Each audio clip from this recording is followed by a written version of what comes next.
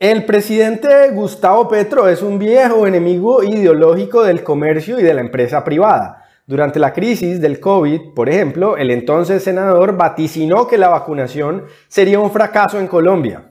Hay que aplicar 90 millones de dosis en nuestro país, a un millón por mes, son 90 meses, más de 7 años pronosticaba el presidente que se iba a tardar el proceso de vacunación. ¿A quién responsabilizaba por esta tragedia que anunciaba el propio Petro?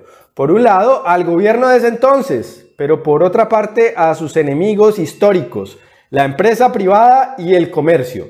Primero, advertía en septiembre de 2020 que las farmacéuticas privadas no iban a encontrar una vacuna fácilmente y proponía que los estados deberían encargarse de esa tarea. Hemos visto cómo empresas privadas farmacéuticas compiten por descubrir la vacuna contra el COVID-19 y hacer un gran negocio. ¿No sería más fácil una colaboración investigativa internacional y hacer de la vacuna un bien público mundial? Proponía Petro durante los primeros meses de la crisis.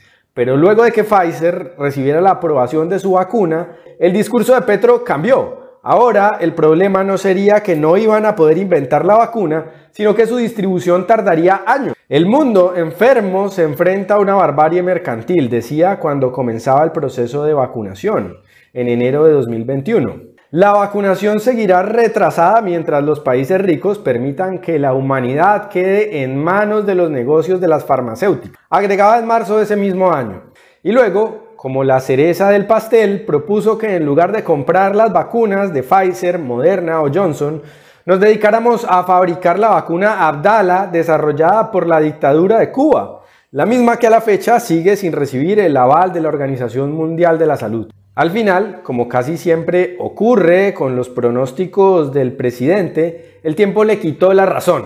No solo las farmacéuticas privadas encontraron de manera increíblemente rápida una vacuna efectiva contra el COVID en menos de un año, un récord histórico para la humanidad, sino que la distribución fue también increíblemente rápida. A pesar de los vaticinios pesimistas de Petro, hoy Colombia tiene más del 80% de su población inmunizada contra el COVID un porcentaje mayor que países del primer mundo como Alemania, Francia, Suecia o Nueva Zelanda. Para diciembre de 2021, apenas unos meses después de que Petro augurara que nos tardaríamos siete años en vacunar a todos los colombianos, ya se habían aplicado más de 50 millones de dosis en Colombia. Un éxito absoluto. ¿Y cómo conseguimos esos resultados tan rápidos? Haciendo exactamente lo contrario de lo que proponía Petro en su momento. Por un lado, confiando en la capacidad científica y la innovación de las grandes farmacéuticas del mundo, negociando la compra de esas vacunas, es decir, comerciando con ellas, con contratos que además están lejos de esa barbarie mercantil que anunció Petro, pues se pactaron a precios que ahora sabemos fueron muy razonables. El delirio ideológico antiempresas y anticomercio del entonces senador nos habría llevado por una ruta peligrosa. El de confiar en una vacuna como la Abdala, que solo es aplicada hoy por algunas dictaduras irresponsables.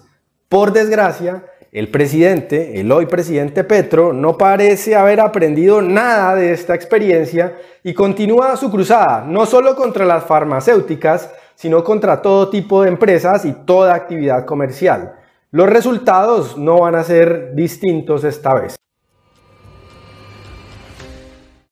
El señor Said Bergel Ascanio ha emprendido una pelea en contra mía y en contra del empresario Luis Perdón, líder de oposición ciudadana de la ciudad de Medellín, donde nos está acusando de ser líderes de las AUC. Aparte, me está acusando de ser un lameculo de Álvaro Uribe, cabeza de pene y otras cosas más, como las pueden observar acá en un video. Hola, él es Andrés Rodríguez, alias El Guri, de los lameculos de Medellín, al mando de Álvaro Uribe Y como le dijo Esperanza Gómez, este uribista pobre se parece al pene, tiene cabeza pero no tiene cerebro. Compártanlo.